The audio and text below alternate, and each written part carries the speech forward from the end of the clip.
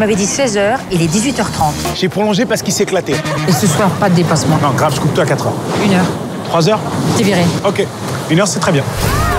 Ça se passe bien Sam Tu me reconnais pas, c'est ça Ah, mais oui, oui, oui, Christine. Christine euh, de Berlin. De Londres. De Londres, voilà, c'est ça, of course. C'est cool de te voir avec euh, ton bébé. C'est ta fille. Est-ce que tu la connais cette meuf? Bon, on a vaguement couché ensemble, mais franchement pas assez pour dire, bah tiens, bah, voilà, c'est ta fille, salut. Se barre là, non Christine T'as oublié tes affaires Ce que je peux, c'est juste rendre un enfant comme c'est pour moi? Christine Carte d'embarquement et passeport. Ta copine, elle a oublié sa Carte fille. d'embarquement et passeport. Mais donc tu connais qu'une phrase, toi?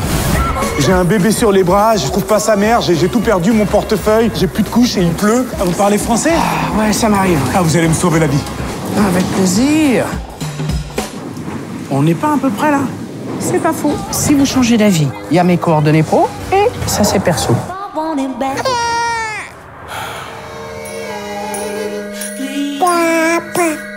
Tu l'as dit Avez-vous la moindre idée des conséquences de votre éducation sur Gloria? La semaine dernière n'est pas venue du tout. Ah bon? Même pas le, lundi? T'arrêtes d'envoyer des faux mails et tu dis la vérité à ta fille. Un matin, elle va se rendre compte que tu lui mens depuis des années et ça, crois-moi, ça, ça va réellement la rendre malheureuse. Je sais. Oh putain.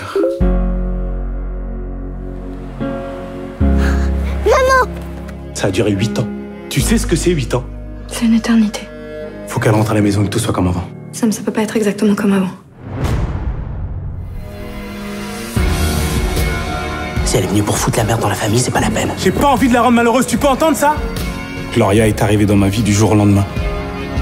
J'étais pas prêt. Mais je fais du mieux que j'ai pu. Je te laisserai plus jamais. Je te le promets.